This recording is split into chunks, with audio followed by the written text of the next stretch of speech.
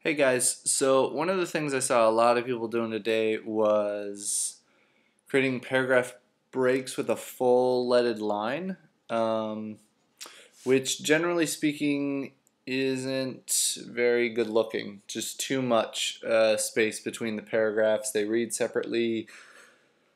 Kind of an unnecessary like sticking point for the reader. Um, so one of the things I want to show you how to do um, was go from this with a full break in here um, to handling that with paragraph styles.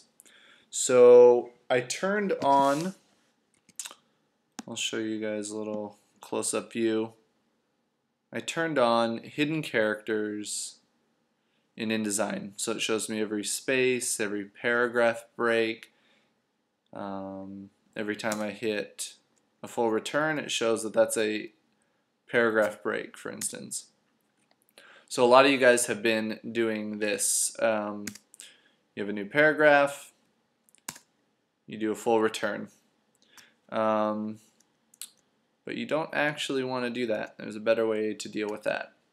So in your paragraph style over here, I'm going to click on whatever your body copy style is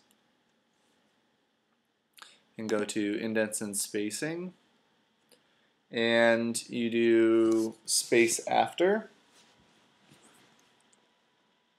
And my text is 10 over 12 so it's got 12 points of leading. So if I want a half a leaded line that'd be six points. So I'm just gonna kick this up. A half dozen clicks. Click OK. And voila Every time there's one of these little guys afterwards, gives it a half space. Oops. So let's check this out in preview.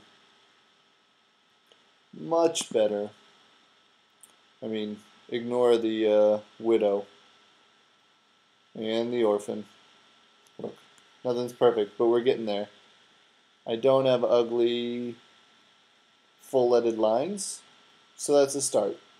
Anyway, super easy. Make sure to do it on your booklets. See y'all Wednesday.